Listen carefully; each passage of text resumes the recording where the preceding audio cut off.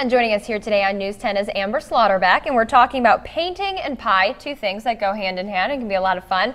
Kind of explain this program to us. So we have a dozen more painting and pie classes scheduled for the year, and it is at the Grand Traverse Pie Company. It's ages 4 to 12 is $25, and then 12 and up is $35.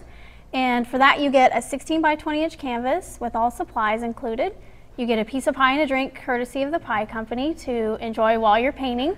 And you also get instructions by our artist, Robin Michelle. Very cool. So if people wanted to do this or find out which day they can do it, how can they find that calendar or that schedule?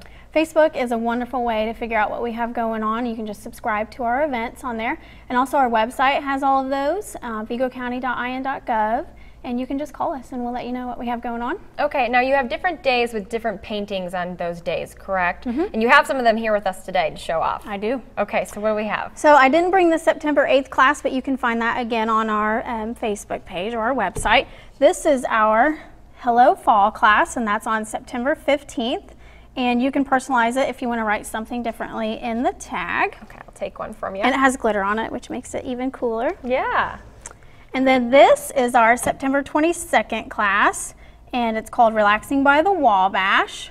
Beautiful, with the Adirondack chairs. Kind of like a waterfront view there. Mm-hmm. Looks just like the Wabash. Yeah. And then this is our very classy guy, our rooster painting on October 6th.